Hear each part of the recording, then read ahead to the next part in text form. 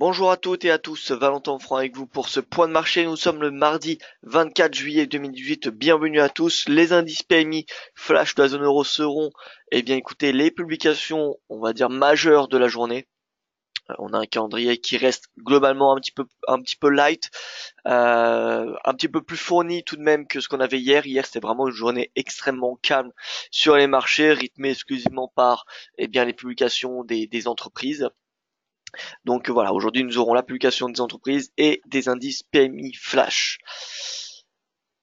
Alors avant toute chose, je vous invite à prendre connaissance de l'avertissement légal sur les risques. Le trading avec effet levé amplifie toujours les gains et les pertes.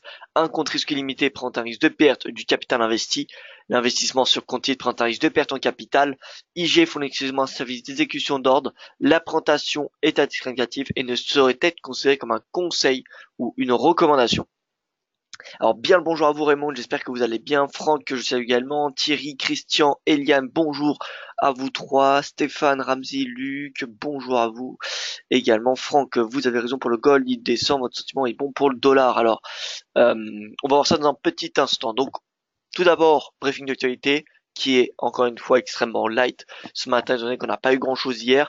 Euh, mis à part le chef d'opposition britannique Jérémy Corbyn qui, euh, pardon, devrait soutenir la vision du gouvernement sur une nouvelle union douanière avec l'Union européenne. Et dans le but d'éviter un Brexit bâclé qui laisserait le pays en rogne euh, à Donald Trump. Donc voilà, je cite hein, ce qu'il a dit. Au niveau de la Chine, euh, hier, le pays a développé un ensemble de, politiques visant à stimuler la demande intérieure. Euh, je vous rappelle que le, problème de la Chine, entre guillemets, c'est son ralentissement de son économie, ce qui est normal quand on passe d'un pays émergent à un pays développé. Euh, la croissance diminue de plus en plus. On peut pas garder un taux de croissance de 9, 8 ou bien même 7% par an euh, indéfiniment. Euh, même si la Chine a encore beaucoup à faire pour euh, pour devenir un pays, on va dire, euh, une économie développée. mais voilà, son économie tend à ralentir et en plus des tensions commerciales qui viennent menacer donc menacer sa, sa production manufacturière, elle est obligée de ralentir, elle est obligée de pardon d'intervenir et donc elle a des dévoilé tout simplement hein, des projets, des politiques euh, reflationniste visant donc à stimuler la demande intérieure, notamment grâce à une flexibilité budgétaire, en assouplissant, en assouplissant la réglementation et les conditions monétaires. Donc on peut très bien imaginer euh, un endettement beaucoup plus élevé de la Chine, même si euh, elle commence déjà à devenir assez importante. Donc, donc voilà. Selon FactSet, plus de 17% d'entreprises du S&P 500 ont publié leurs résultats du deuxième trimestre, avec 82% d'entre elles dépassant les estimations des analystes, ce qui est énorme. Et enfin, le rendement du 10 ans américain qui évolue en plus haut de 5 semaines à 2,95% suite au tweet de Donald Trump critiquant le durcissement de la politique monétaire de la Fed vendredi. Vous voyez donc pas grand chose hein, de majeur qui ont été annoncés hier. Vous voyez que l'information est plutôt légère ce matin. Et au niveau, donc, résumé de la science américaine et asiatique, cela s'est traduit par une hausse des marchés actions. Alors, on a Alphabet qui a publié des super résultats. Alphabet, hein, la maison mère de Google, euh, qui a publié des très bons résultats euh, euh, hier, des résultats supérieurs aux attentes, ce qui a fait bondir le cours. Et comme vous savez, dès qu'il y a un mastodonte technologique qui est en hausse, et eh bien c'est tout le secteur qui est en hausse. Donc Nasdaq qui clôture en hausse de 0,29%, le rendement du 10 ans qui prend 7 points de base, ce qui est beaucoup. Euh, le yen ce matin qui prend 0,03%, le gold qui est toujours en repli, le Nikkei, le Hang Seng en hausse. Donc on a plutôt de l'appétit pour le risque ce matin euh, avec euh, les marchés actions qui sont qui, sont aussi. Et vous voyez donc au niveau du calendrier économique, 9h30 indice PMI flash de l'Allemagne, 10h indice PMI flash de la zone euro et ensuite 15h45 indice PMI des États-Unis. Alors pour ce, euh, pour le composite allemand, il est attendu inchangé à 54,8. Euh, à 54,8, excusez-moi. Donc on a les, surtout les, donc c'est l'activité manufacturière qui est la plus à surveiller euh, parce que c'est c'est l'activité dominante en Allemagne, 55,9 contre 55,9, 55,5 contre 55,9 pardon. Donc activité manufacturière qui est attendue en petit ralentissement. Par contre l'activité des services qui est attendue inchangée. En zone euro, on a une légère baisse du composite, 54,8 contre 54,9. Les services sont attendus en très très légère baisse, pareil, ainsi que l'activité manufacturière. Aux États-Unis, alors on n'a pas de consensus pour le compo, ce qui est, il me semble, tout le temps le cas. Donc pour le manufacturier, légère baisse. Pour les services, légère baisse également. Donc vous voyez que c'est plutôt global hein, cette tendance euh, de ralentissement de l'économie, donc rien de surprenant.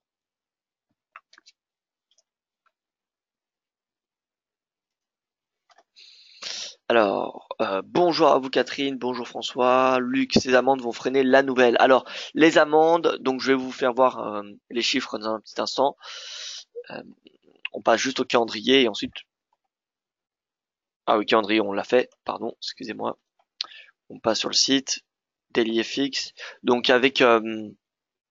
donc l'équipe DailyFX, on, on, a écrit un article qu'on qu'on réactualise à chaque publication des résultats de certaines entreprises américaines, Facebook, Apple, Amazon, Netflix, euh, etc., etc. Donc dès qu'il y a une de ces entreprises qui publie leurs résultats, eh bien nous actualisons euh, le euh, l'article. Le BPA, donc le bénéfice par action, est de 9 euh, et de 11,75 dollars, bien au-dessus de consensus qui est à 9,59. Euh, en excluant l'amende, en excluant l'amende euh, de l'UE, le bénéfice est de 4,54 dollars. Euh, pardon, en incluant, excusez-moi, en incluant l'amende, euh, le bénéfice non ajusté par action est de 4,54 dollars. Donc, euh, donc voilà, on reste quand même sur un bénéfice, euh, un, bénéfice au second trimestre, hein, même si on a eu cette amende de Google.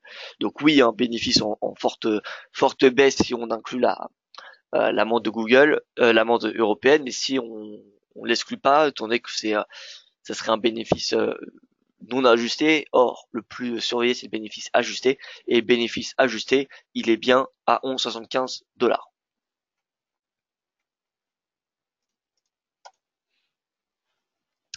Au niveau du forex, on a le qui continue à progresser pour la quatrième séance consécutive. Donc vous voyez qu'on a vraiment un yen qui est boule. Le RSI journalier qui a clôturé au-dessus de 50. Bref, euh, hausse du yen. Le NZD qui est inchangé, vous voyez, 0% depuis l'ouverture. Hier, c'est un doji, donc euh, rien à rajouter euh, depuis hier, c'est ce n'est voilà un, un, biais négatif sur du moyen terme au vu de ce canal qui illustre très bien les tensions commerciales entre les États-Unis et la Chine. La UD, pareil, hein, je reste baissier sur du euh, moyen long terme. Euh, voyez qu'il est en baisse ce matin. Il est en baisse. Donc la UD yen, je vous rappelle, c'était un trade d'hier avec également l'USD yen euh, qu'on va voir, euh, qu'on va revoir dans un petit instant. Mais voilà, la UD yen, c'est pour moment la paire, euh, on va dire la plus volatile ce matin, en baisse. L'euro L'euro qui est en petite baisse, vous voyez troisième séance consécutive de baisse, on a un RSI qui, on n'a pas de divergence, hein, on a un RSI qui continue à, qui commence, pardon, à baisser. Vous savez que 50 c'est une zone de support, donc peut-être que le RSI viendra respirer jusqu'à 50 avant d'un nouveau progresser. Donc affaire à suivre, mais l'euro, il semblerait qu'il y a une pause qui est en train de se faire. Le GBP euh, à son plus bas, on va dire, de l'année, presque, vous voyez. Ah oui, à son plus bas de l'année finalement voyez, plus bas de janvier, plus bas de mai et plus bas de juillet. Donc voilà, légère hausse matin du GBP, mais vraiment rien de très important. D'autant plus qu'on n'a pas de facteurs qui viennent justifier cette hausse. Donc euh, voilà, le GBP, RSI sous 50, prix euh, qui est plutôt, euh, on va dire, plus baissier que haussier, assez plus bas l'année. Donc c'est pas le moment d'acheter le GBP. Le franc, petite baisse ce matin après une belle hausse hier. Euh, voilà, le franc devrait profiter également du, yen. Hein. La hausse du yen, euh, ça vient soutenir les devises refuges. Donc le franc euh, de pourrait, pourrait plutôt également progresser lors des prochaines séances. L'USD, l'USD rebond sur un mois immobile à 30 séances. Il me semble que c'est la 30 qu'on a ici. On va mettre la 20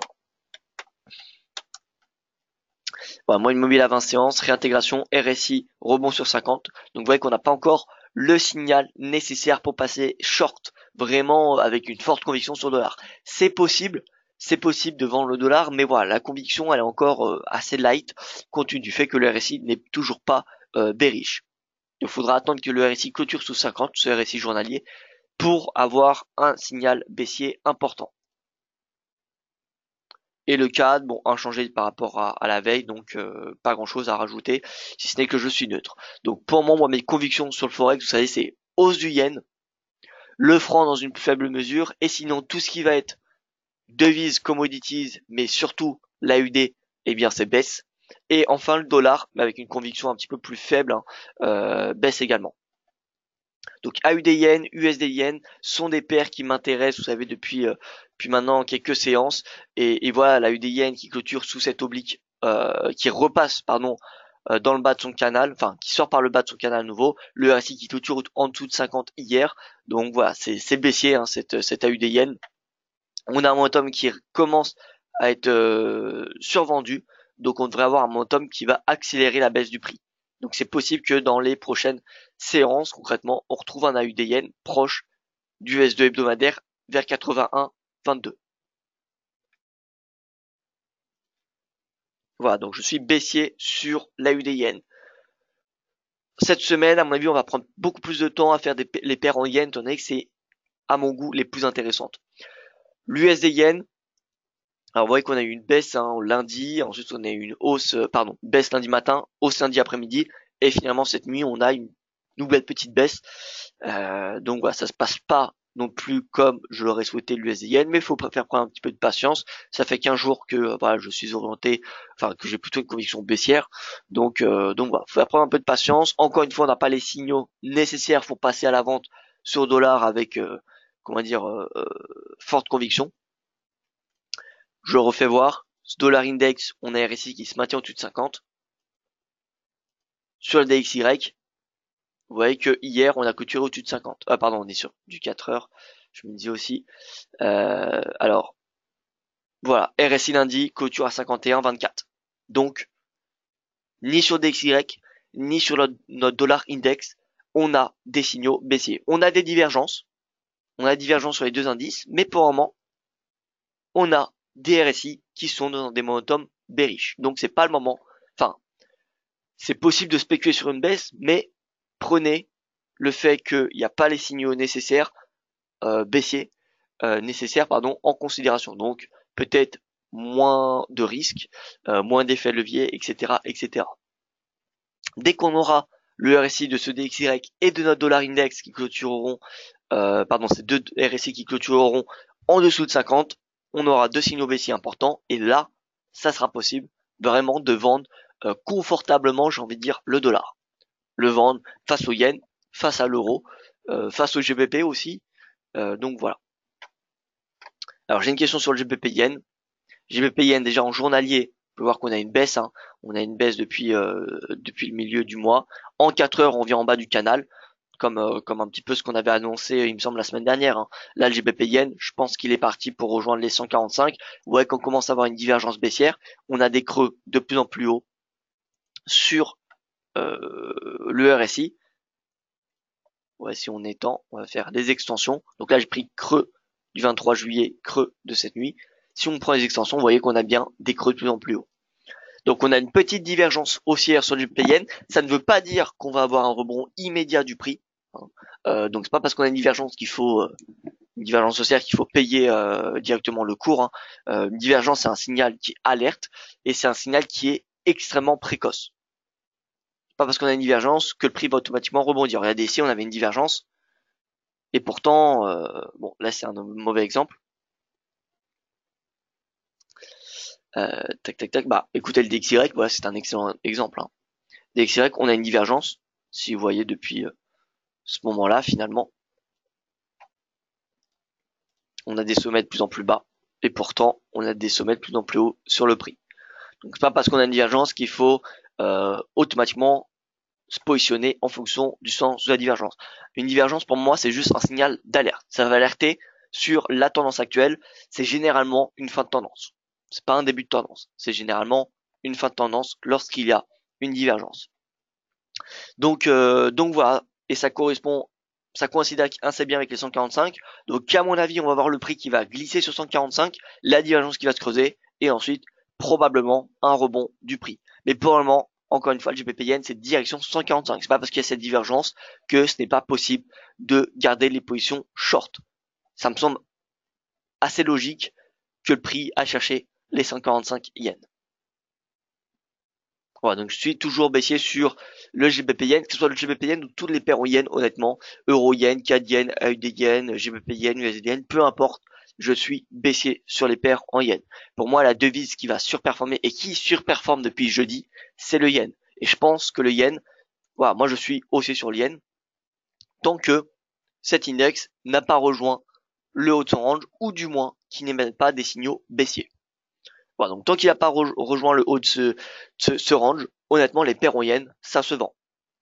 Euh, pour être tout à fait franc avec vous, l'AED yen, euh, moi ma stratégie, c'est de le vendre tant que ce yen index n'a pas rejoint le haut de ce range ou en tout cas n'a pas émis de signaux baissiers. Tant qu'il est tourné à la hausse et qu'il est, voyez, qu'il n'est pas proche du haut de son range, honnêtement, les paires en yen peuvent se vendre.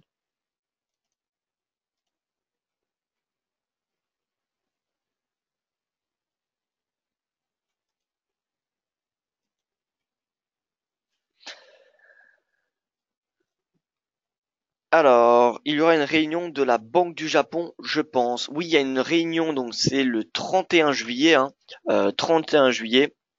Donc je vous rappelle hein, ce qui s'est passé hier, euh, enfin hier, pardon, euh, dans la nuit de dimanche à lundi, donc quand c'était lundi au Japon.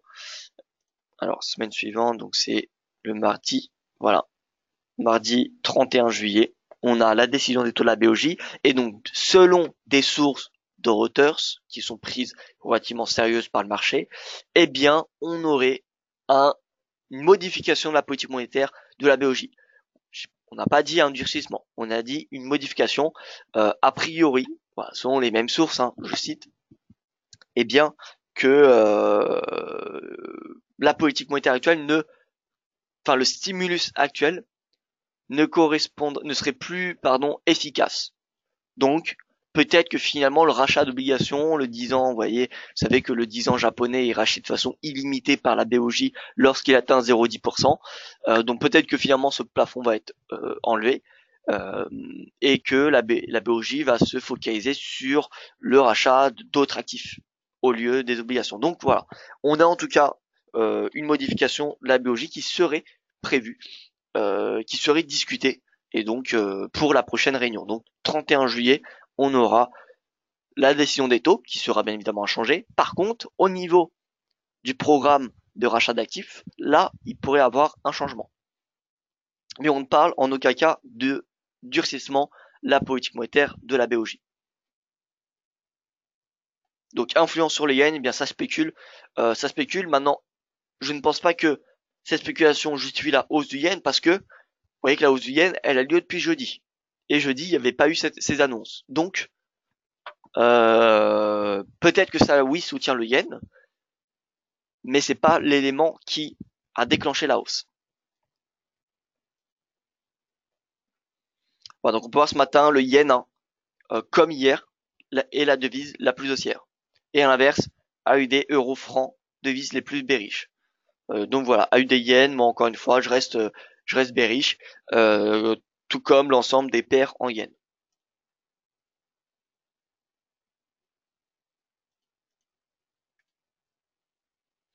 On passe sur les paires majeures, donc l'eurodoll, l'eurodoll sous pression.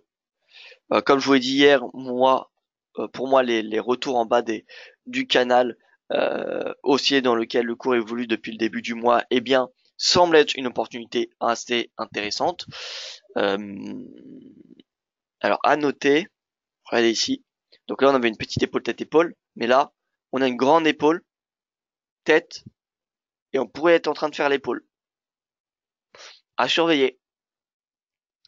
À surveiller, en tout cas, euh, en tout cas voilà, la tendance est haussière, même si voilà, ce matin on teste, on est sorti par le bas du canal, euh, ce matin on le réintègre, et, finalement ça me semble être des opportunités intéressantes pour passer à l'achat. Vous voyez ce pivot mensuel euh, qui, qui coïncide parfaitement au pivot hebdomadaire, vous voyez, qui se superpose, eh bien c'est un niveau de prix possible euh, en swing trading pour passer à l'achat et viser des pivots euh, journaliers, donc pivot du jour, R1 du jour, etc., etc. Donc voilà, payer les 1,1680 pour viser les 1,17 peut être une stratégie intraday, voire même de swing intéressante.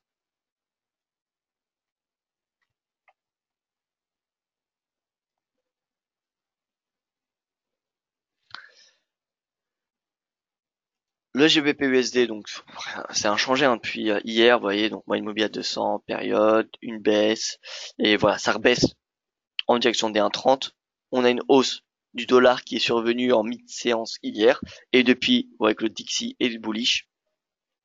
Dixie bullish, et, euh, et voilà, écoutez, pas grand chose de à rajouter sur le dollar.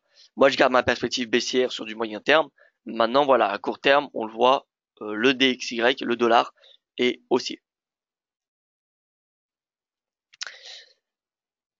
Alors, à part la UDN et l'USIN, honnêtement, euh, je n'ai pas grand-chose d'autre à vous dire. Donc, si vous avez des paires particuliers que vous voulez que j'analyse, n'hésitez pas à me les demander, parce que sinon, je vais passer rapidement sur les indices. Étant donné que rien n'a vraiment changé depuis hier. Donc, je vais continuer en attendant les questions.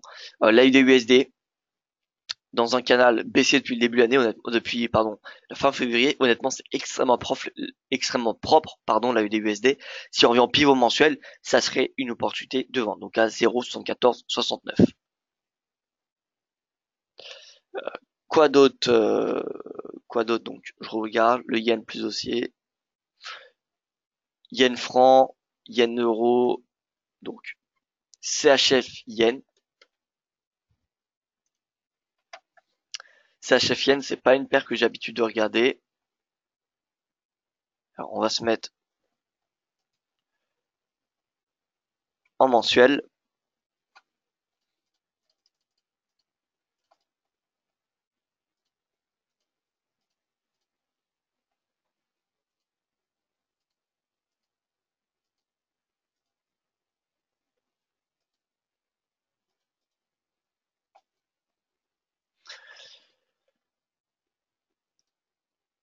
Alors,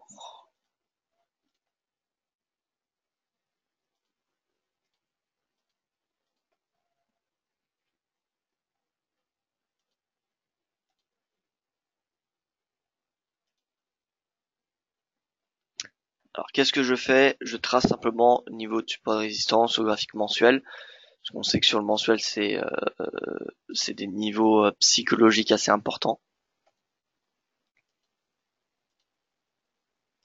Donc le but, c'est de tracer les supports, c'est d'utiliser les supports dans une tendance baissière et les résistances dans une tendance haussière.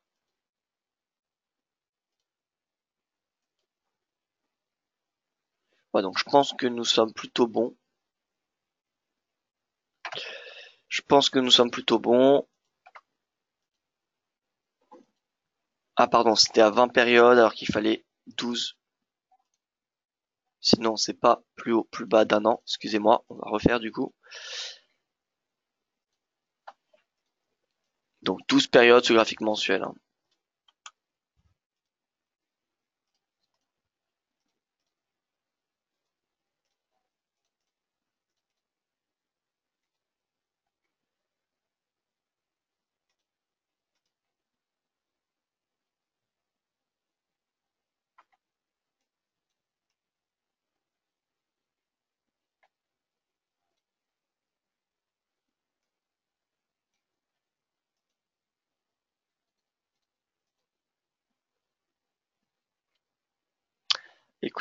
Je pense qu'on a fait le tour des niveaux de support de résistance. Voilà, je vois pas ce qu'on peut rajouter.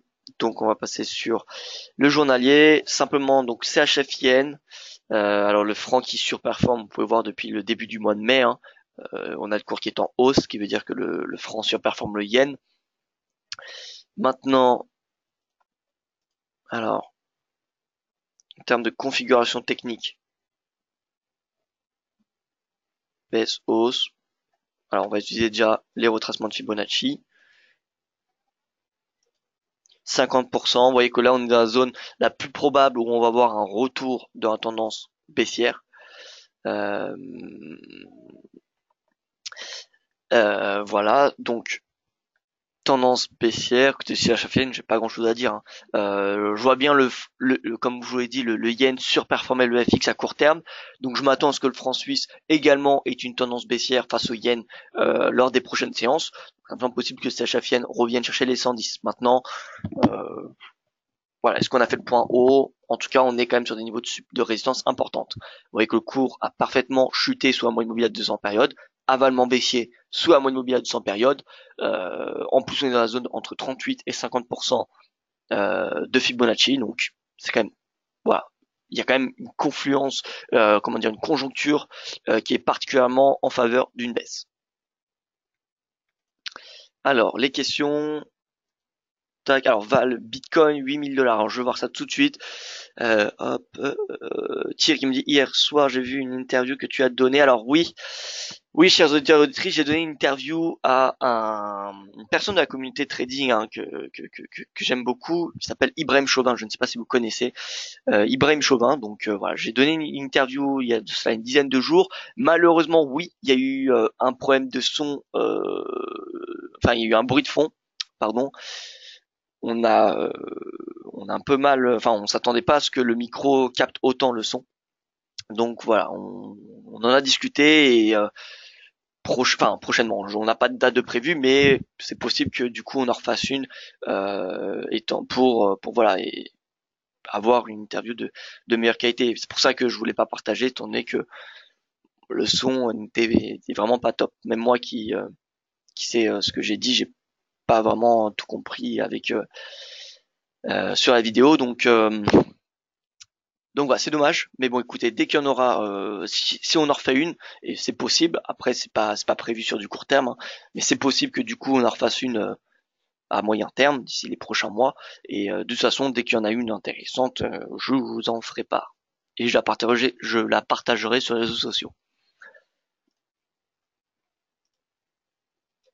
Donc c'était simplement une interview sur le métier d'analyse technique, en quoi ça consiste, ma routine du jour, etc., etc. Donc c'était voilà vraiment pour découvrir le métier d'analyse technique. Bref, on passe sur les indices. CAC 40.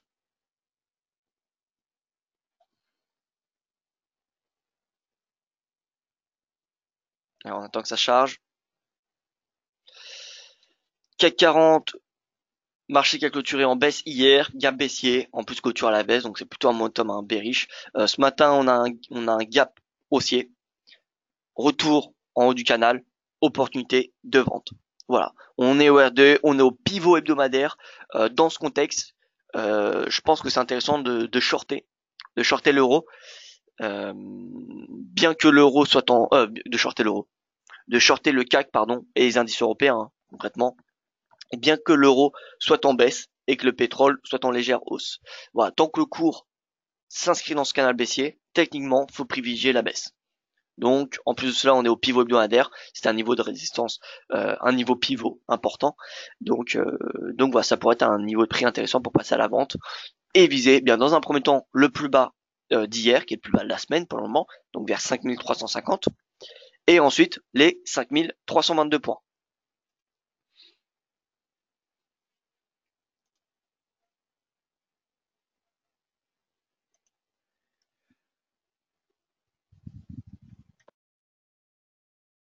DAX, pareil, ouverture avec un gap haussier, on est au pivot hebdomadaire, vous voyez que ça bute. Hein. D'ailleurs, l'ouverture, s'il faut pivot hebdomadaire, au se près. Hein. Euh, donc rejet sous pivot hebdomadaire, euh, je vois bien le prix revenir euh, au R1 du jour, voire même au pivot mensuel. Aujourd'hui, alors maintenant, faire attention, étant donné que on sait qu'il y a quand même plutôt de l'appétit pour ce matin, on a eu les marchés américains qui ont clôturé dans le vert grâce aux, aux valeurs technologiques les marchés asiatiques qu'on suivi. Donc, voilà, euh, euh, marché européen, on, voit quand même que l'appétit diminue euh, parce qu'on a eu un, gap haussier, mais depuis le gap, donc le gap, pourquoi on a un gap, c'est simplement sur le futur. Hein. C'est-à-dire que pendant les horaires hors cotation du fixing, on a eu, pardon, hors cotation Euronext, on a eu une hausse, mais depuis l'ouverture des marchés de la bourse de Paris, on a la baisse. Donc finalement, ça veut dire que l'appétit pour risque euh, c'est euh, été contagieux jusqu'à l'ouverture euh, bah, pendant la, la, séance asiatique. Donc les futurs européens progressaient pendant la séance asiatique. Par contre, depuis l'ouverture de la séance européenne, on voit qu'on a une baisse. C'est ça ce que nous indique l'ouverture avec un cap haussier, puis la baisse.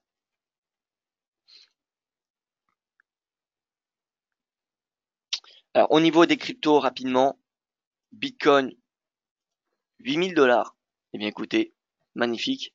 Bitcoin à 8000 dollars. Je vais passer sur Training View, euh, BTC USD. Simplement pour vous faire voir, euh, voilà moi ce que j'ai en analyse technique pour le Bitcoin. Là on a une oblique qui va être très importante, euh, qui va être très importante. Vous voyez qu'on a réussi à 73, ce qui est énorme. Euh, donc voilà, surveillez le prix. Encore une fois, on a une tendance haussière, donc faut garder son positionnement aussi à très court terme. Maintenant, est-ce que on a un rebond, est-ce qu'on a un renversement de cette tendance baissière? Pour moi, la réponse est non. Je ne pense pas que ce rebond soit un renversement de la tendance. Et je ne pense pas que le point bas à 5780 dollars soit le point bas euh, du Bitcoin. C'est pas le point bas euh, de l'année. Donc voilà, on a un rebond qui, selon moi, est une opportunité pour mieux shorter le Bitcoin. Donc pourquoi pas surveiller, donc déjà, faut surveiller l'action du prix sous cette oblique, parce que si on a un avalement baissier sous cette oblique, ce serait un puissant signal baissier. Et, euh, et ça sera possible de le vendre, tout simplement.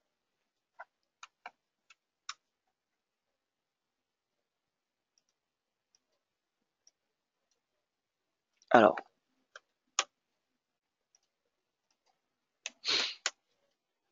Donc là, cassure la moyenne mobile à 100 jours. On va mettre là 200. Ouais, 200 périodes, 8676. Et vous voyez que ça a fait office de résistance ici. Support, résistance, résistance. Donc, vous voyez que là, on a une zone de résistance importante, mon cher François. Bonjour, ça fait longtemps euh, de la part de Philippe. Alors bonjour au Philippe. Euh, pour le cas qu'on nous sur résistance, mais il y a toujours, il y a toute la journée pour avancer. Non, demain rencontre Junker, n'est-il pas préférable d'attendre demain? Sinon, pourquoi se placer aujourd'hui? Alors, euh, c'est vrai que pourquoi se passer aujourd'hui Tout simplement parce que la configuration technique sur le CAC me semble intéressante. Euh, si on se met sur du 4 heures, on a ce canal baissier dans lequel le cours évolue depuis le mois de mai, et là on est, euh, vous voyez, en haut de ce canal. On est de retour en haut de ce canal. Donc, d'un point de vue technique, en plus de ça, on est au plus hebdomadaire, ça me semble intéressant de shorter le niveau de prix sur du moyen terme, c'est-à-dire pour viser 5300. Je vous rappelle, euh, pendant l'été, on a statistiquement une baisse, mis à part pendant la publication des résultats, qui a lieu en Europe entre voilà en ce moment et euh, jusqu'à on va dire euh, la euh, dizaine du mois d'août. Donc il y a beaucoup plus de chances de connaître une baisse statistiquement sur les marchés actions. D'autant plus que si on regarde sur du moyen terme, hein, si on regarde pour les prochaines semaines, voilà mon opinion, l'euro-dollar personnellement, je l'attends à la hausse euh, d'ici la fin d'août. Euh, pour moi, fin d'août, on, reconnaîtra les 1,20. Ça me semble fortement possible que d'ici fin août, fin août, on ait, euh, on, on, reconnu les, les 1,20. Le pétrole, les menaces semblent dominer dorénavant. Ce qui était le moteur du pétrole semble dorénavant des menaces l'Iran, par exemple, euh, certaines entreprises pourraient être exclues, certains pays, pardon, pourraient être exclus des sanctions américaines. Donc, le marché doit réajuster finalement ses prévisions euh, sur l'offre.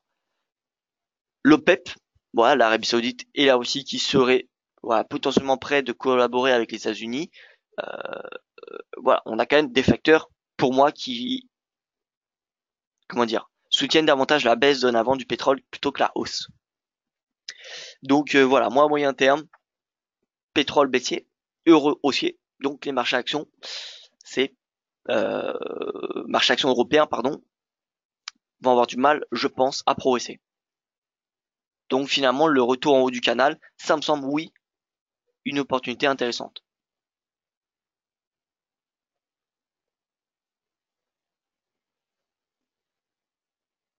C'est quoi le driver pour l'euro dollar? Attends le 1,20. Alors le driver pour l'euro dollar. Alors déjà on a la baisse jeudi. On a la baisse jeudi et on a la Fed. Euh, on a la Fed le 3 août il me semble. Hein. C'est le 3 août. Non c'est le c'est le 1 août. Excusez-moi c'est le 1er août. On a la Fed. On a le fait donc le marché qui attend cela et et sinon hein, je vous rappelle ce qui drive le dollar actuellement, ce qui ce qui permet la hausse du dollar, c'est la guerre commerciale. C'est les tensions commerciales. Par contre, vous voyez qu'on a toujours des tensions commerciales et pourtant le dollar n'arrive plus à bouger, à progresser. Donc donc voilà. Alors que l'euro de son côté, ça déjà du côté de la politique en zone euro, on n'a plus les mêmes risques. Hein. Si on regarde les spreads entre l'Allemagne et euh, les obligations périphériques comme l'Espagne ou l'Italie, eh bien, ils sont plus bas que ce qu'on avait au mois de mai. Donc on a un risque, euh, enfin des inquiétudes des investisseurs qui diminuent. Donc ça devrait soutenir euh, les actifs de la zone euro.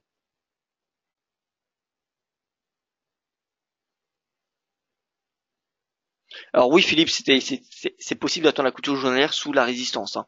Euh, c'est possible. Maintenant, on a déjà regardé en journalier sur le CAC. Euh, vous voyez qu'on a déjà une clôture en baisse hein, hier. On a juste un gap haussier. Un gap haussier, pivot hebdomadaire. Voilà, c'est possible d'attendre encore une fois la, clôture, la clôture journalière, excusez-moi. Euh, mais voilà, moi techniquement, je reste baissier sur le CAC 40, sur les indices européens pour les prochaines semaines. Alors, Catherine qui me dit en GBPIN, euh, en H8 et Shimoku Weekly, très intéressant. Alors, moi écoutez, Shimoku, c'est pas du tout ma tasse de thé. Euh, GBPIN, H8.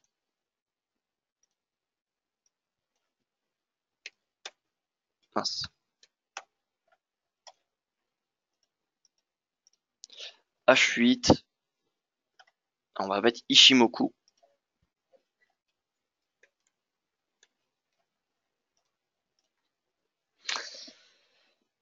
sorti par le bas du nuage, donc euh, tendance a priori baissière. Alors,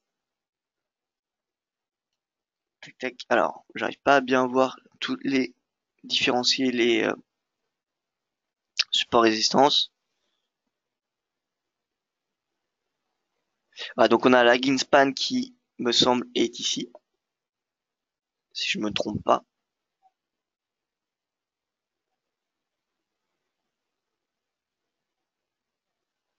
Alors la lagging span, c'est celle-ci. Et vous voyez, va bientôt atteindre le nuage. Donc dès que la lagging span testera le nuage, ce sera également un niveau de support de résistance. Donc en 8 heures, pour moi, d'après Shimoku, ça m'indique une baisse, étant donné qu'on a le cours qui sort par le bas de ce nuage. Donc ce nuage c'est considéré comme un niveau de support de résistance. Donc sorti par le bas, c'est percé. Euh, et donc en weekly, en hebdomadaire, on est dans le nuage. C'est assez intéressant. Si on a sorti par le bas, pourquoi pas spéculer sur une baisse plus importante. Voilà. Maintenant après, honnêtement, encore une fois, je suis pas du tout expert de Ishimoku. Euh, ce que je vous dis là, c'est vraiment du, basique. Hein. Euh, voilà. Donc, euh, je pense qu'il y a des experts sur, enfin, c'est même certains. Il y a des experts sur sur le marché qui est beaucoup, qui sont beaucoup plus calés que moi sur sur Ishimoku. Moi, c'est vraiment, je suis novice. Hein. Le WTI et le gold et ensuite je terminerai donc ce webinaire. WTI, donc comme je vous dis, moi d'un point de vue fondamental, je trouve les risques de plus en plus baissiers. Maintenant toutefois, ce qu'on trade, c'est le prix, plus que euh, voilà, le, fondamental, c'est le prix qu'on trade. Donc tant que le prix est à la hausse, c'est la hausse qu'il faut privilégier. Euh, le prix, c'est uniquement que la représentation graphique de l'évolution psychologique des investisseurs. Dès qu'on a un prix qui est haussier, c'est un marché qui est bullish. Des investisseurs qui payent. Dès qu'on a un prix qui est baissier, on a une psychologie qui est plutôt négative. On a une révision à la baisse. Voilà donc le brut euh, sur support. Hein, vous voyez euh, sur le bas de, de cette de, ce canal. Alors oui, hier on clôture légèrement en dessous, mais vous voyez que c'est pas vraiment une clôture avec un avalement. Donc est-ce qu'on peut prendre en considération cette clôture Pour moi, c'est non. Euh, la réponse est non parce que si je déplace simplement d'un pips, vous voyez le ce canal, eh bien hop, on a réintégré, enfin le cours est, finalement dans le canal. Donc non, cette clôture n'est pas un signal baissier pour moi. Euh, le signal baissier sera donné si on a vraiment un avalant baissier en sortant de ce canal. Là, dans ce cas-là, oui.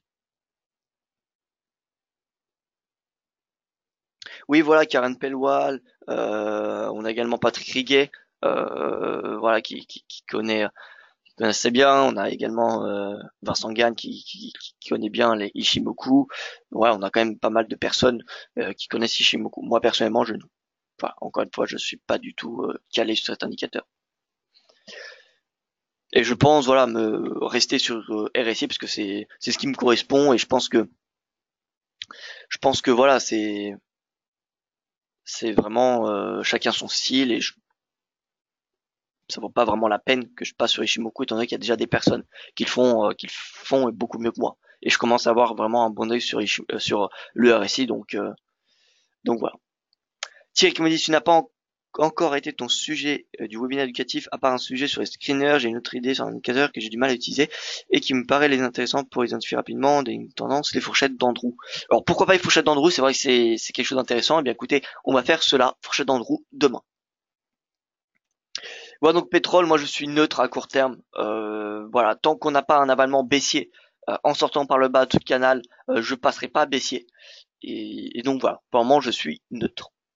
Et enfin l'or, vous voyez que l'or, ça semble assez logique qu'il aille chercher les 1300 dollars, 1200 dollars pardon. On a le dollar qui reste assez puissant, ce qui fait pression sur l'or. Et encore une fois, les plus hauts de 20 périodes sur le graphique 4 heures, sur une temps 4 heures, et une opportunité de vente à l'image de ce qu'on a connu donc lundi euh, dans la nuit. Et même hein, le matin, il n'y avait pas d'excuse. Le matin, vous voyez qu'on avait eu, euh, c'était juste un chandelier auparavant, on avait plus de 20 jours. Donc euh, voilà. Cette stratégie, on l'avait, on en avait discuté depuis la semaine dernière, et c'est la première fois qu'on pouvait théoriquement la mettre en place, depuis qu'on en parlait. Depuis qu'on en avait parlé, excusez-moi.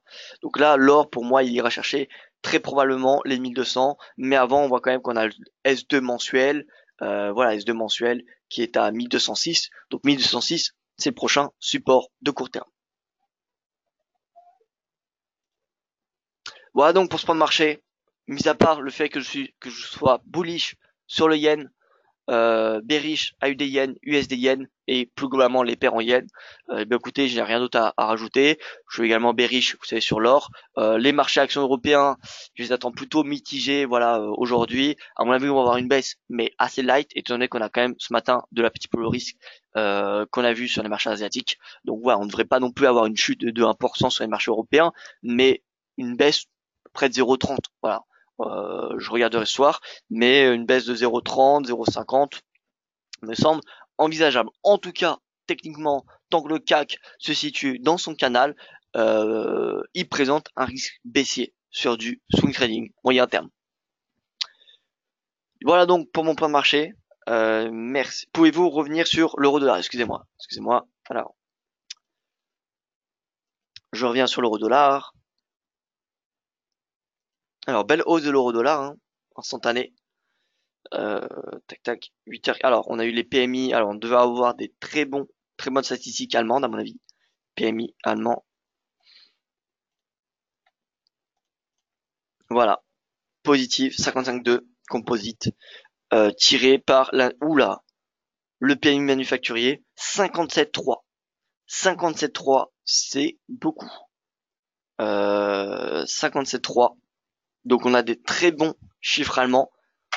Si on a des très bons chiffres de la zone euro, eh bien écoutez, euh, ce sera positif pour euh, pour l'euro. Alors pourquoi les indices PMI sont extrêmement importants? On entend souvent parler, mais pourquoi c'est extrêmement important? Eh bien tout simplement parce que l'indice PMI, c'est simplement l'activité économique des biens, enfin de l'activité manufacturière ou des services. Si on a une bonne activité euh, économique sur ces secteurs, eh bien on a plus de chances, beaucoup plus de chances, je dirais même, que le PIB, qui ressort trois mois plus tard. Donc que le PIB soit en accélération. Voilà, vraiment, euh, l'indice PMI, c'est peut-être l'indicateur le plus précoce et qui a le plus de poids sur le PIB. Alors avant, on a également les ventes au détail, etc. Mais voilà, les ventes au détail, ça a un impact. On va dire c'est compliqué de trouver une corrélation entre vente au détail et PIB. C'est même, je pense, ça n'existe pas.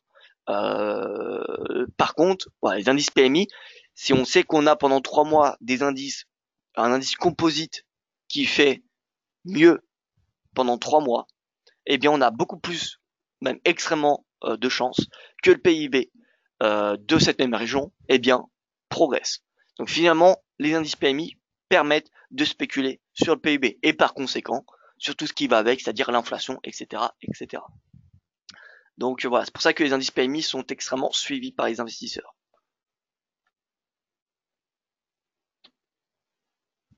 Pour les indices, comment préparer une hausse de volatilité? Gap peut-être? Alors non, pas forcément. La volatilité, c'est bah déjà première chose que je vous dirais, c'est l'agenda économique, hein. euh, le, calendrier des sociétés. Euh, voilà, les, les, sociétés majeures. Par exemple, on a LVMH aujourd'hui. Euh, faut surveiller l'heure. Est-ce que c'est post ou pré-market, ou alors est-ce que c'est pendant séance? Ça m'étonnerait. Euh, c'est rarement le cas. Euh, et, euh, et, voilà, globalement. Et également le, le calendrier macroéconomique. Ça, ça va vous permettre déjà d'anticiper la volatilité. Une bonne partie. Après, il y a toujours des facteurs inattendus, comme des tweets de Trump. Ça, personne ne peut le prévoir. Et les tweets de Trump font pas mal décaler les marchés. Maintenant, en termes d'indicateurs, eh bien, écoutez, sachez que plus vous, vous mettez un indicateur, par exemple l'ATR, l'ATR qui euh, mesure la volatilité sur X dernière période. Eh bien, si cette volatilité, plus la volatilité est basse, et plus il y a de chances ensuite qu'elle augmente. C'est comme des expectations. Plus les expectations, plus les, euh, pardon, les expectations sont faibles, plus il y a de chances que le cours soit surpris positivement. Enfin, que le marché soit surpris positivement. Euh, pareil pour les bandes de Bollinger. Regardez, souvenez-vous, les bandes de Bollinger, plus les bandes se resserrent, quand les bandes se resserrent, c'est synonyme de consolidation, mais c'est également, ça précède euh, une hausse de la volatilité. Voilà, donc dès qu'on a une, volatilité qui baisse, beaucoup, enfin qui, est vraiment basse, eh bien, euh, faut spéculer sur une hausse de la volatilité.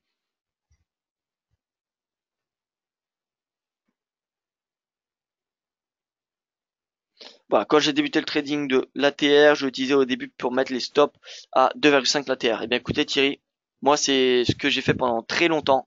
Euh, je, prenais trois fois l'ATR de 14 périodes.